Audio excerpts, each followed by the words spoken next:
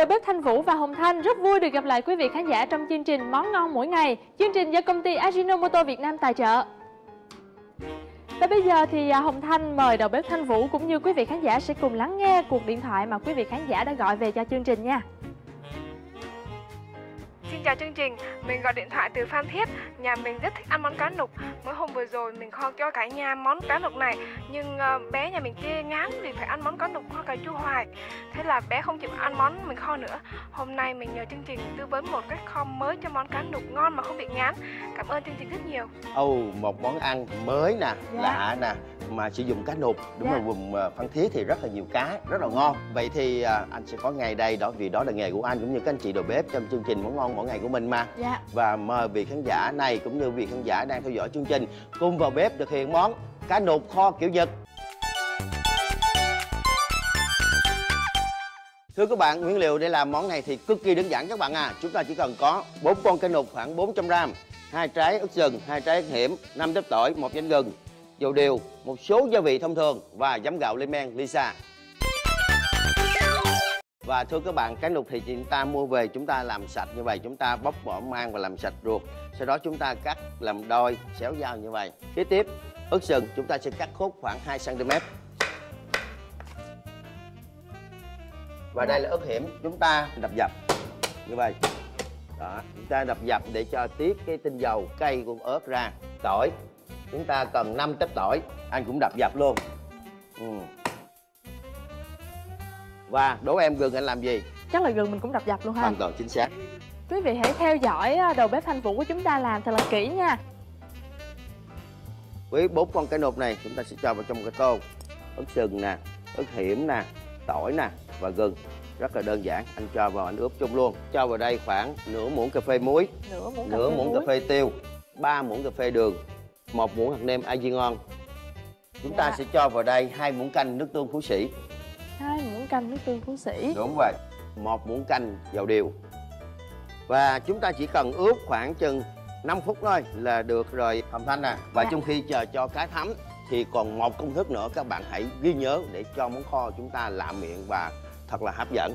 Đó là chúng ta phải hòa cái nước kho cá các bạn à.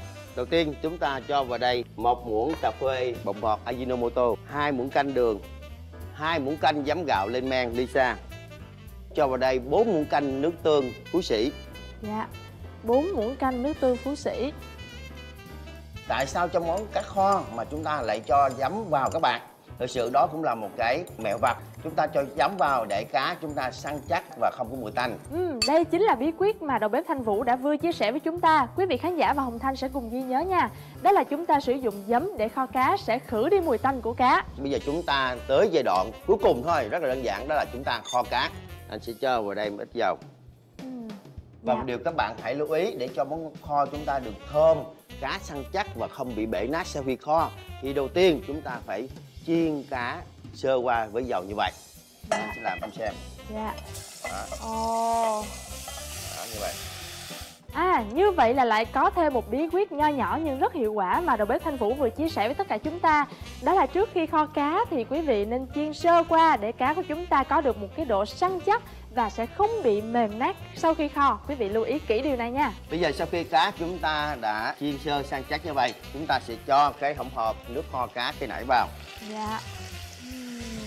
Cuối cùng chúng ta cho vào đây khoảng một chén nước nóng nha các bạn Đến đây chắc hẳn quý vị và các bạn sẽ rất là ngạc nhiên Tại sao kho cá lại dùng giấm và nước tương Đó chính là sự mới lạ cũng như tạo sự hấp dẫn cho món ăn này đó Và đây cá kho của chúng ta sau khi kho khoảng 10 phút thôi Thấy nước kho sánh sệt và cá săn chắc thấm như vậy như vậy Dạ. Là món cá kho chúng ta đã được rồi đó. Chúng ta sẽ ra dĩa nha các bạn.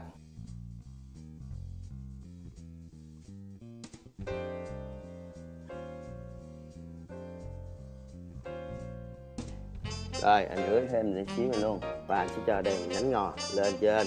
Và bây giờ món ăn chúng ta đã hoàn thành Dạ. Món cá kho kiểu Nhật Thì bây giờ nhiệm vụ nặng nề tới là của Hồng Thanh đấy Dạ. Thì Anh à, chuẩn bị sẵn cho em một ít cơm trắng luôn Dạ. nha Để anh vẽ cho em một miếng à, cá nè Dạ, cảm ơn anh Vũ. Ừ, đầu tiên mà khi Hồng Thanh nhìn thấy món cá này được hoàn thành á thì quý vị biết không, những cái miếng cá của chúng ta, những khúc cá vẫn còn giữ nguyên được à, cái hình dạng ban đầu nè, rất là săn chắc, không có bị bể nát mà màu nâu nâu sánh sệt nhìn rất là đẹp, nhìn ngon vô cùng luôn quý vị.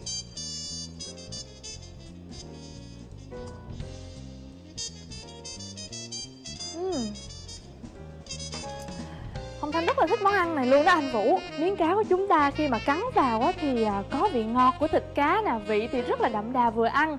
Bên cạnh đó thì có một chút chua chua thanh thanh của giấm nè Kết hợp với lại vị của nước tương rất là lạ miệng. Còn có một chút à, cay cay của ớt của gừng nữa. Cái này mà dùng chung với lại cơm trắng thì chắc chắn là quý vị sẽ có một bữa cơm rất là tuyệt vời Rất là hấp dẫn dành tặng cho cả gia đình của mình đó.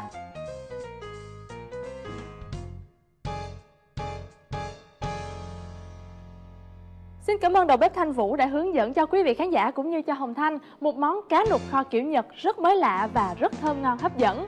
Hy vọng rằng chương trình Món ngon mỗi ngày sẽ là một người bạn chân thành và thân thiết, giúp quý vị có thể gửi tất cả những thắc mắc trăn trở của mình có liên quan đến công việc bếp nút về cho chúng tôi. Hãy gửi thư về cho chúng tôi theo hộp thư số 620 Bưu điện Trung tâm Sài Gòn hoặc quý vị cũng có thể gọi điện thoại về trung tâm tư vấn khách hàng của công ty Ajinomoto Việt Nam ở số điện thoại 083823 7557 hoặc cũng còn một cách khác là quý vị hãy truy cập vào trang web của chương trình ở địa chỉ www.món ngon mỗi ngày.com hay là quý vị cũng có thể tìm từ khóa món ngon mỗi ngày để đi đến trang web của chương trình. Đến đây thì đầu bếp Thanh Vũ và Hồng Thanh xin được chào tạm biệt và hẹn gặp lại quý vị trong những chương trình lần sau.